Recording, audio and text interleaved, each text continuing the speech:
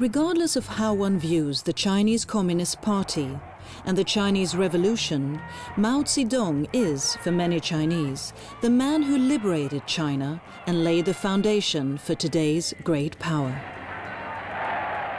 Mao Zedong is the legacy of 20th century China. Mao Zedong is always a topic very emotional, not only like a symbolic one when we talk about 20th century China, it's not possible not to talk about the Mao Zedong. Mao Zedong's importance is reflected in the Chinese Communist Party's ideology, as well as on the Chinese yuan banknotes. Everyone who visits Tiananmen Square in Beijing can see the large Mao portrait above the entrance to the Forbidden City, where it has hung since 1949. Up until a few years ago, it was a secret who had actually painted the portrait. 这个最伟大的领袖是毛泽东主席，是这样。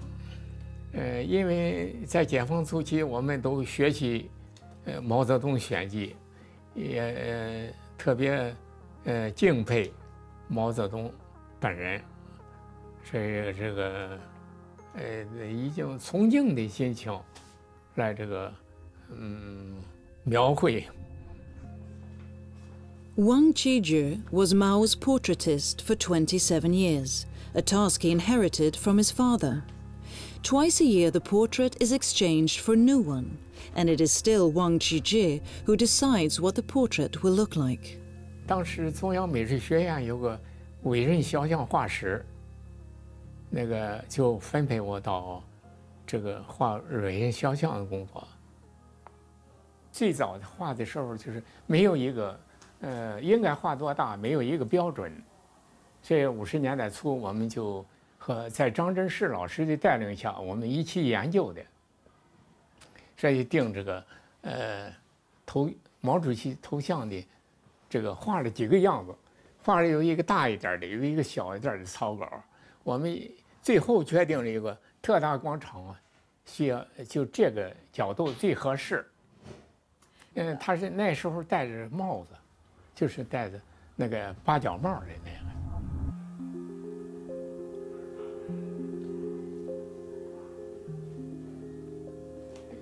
这文革期间没有什么太大的波动，因为我是画毛主席像，所以是一般的都我还是比较尊敬的，但是也也担心，担心有一个什么问题就是。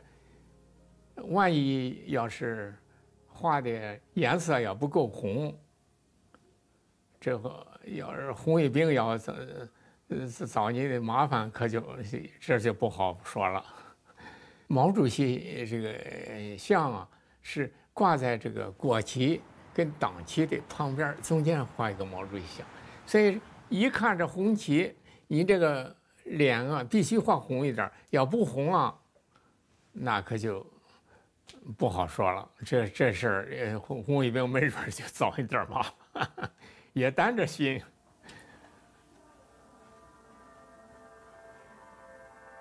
It was not just Mao's portraitist who was frightened by the Cultural Revolution and its strongest symbol, the Red Guards, Mao Zedong's protégés. The Cultural Revolution was Mao Zedong's ultimate political campaign. It began in 1966 and ended with his death in 1976. Mao Zedong's leadership is not called into question as much as his actions are.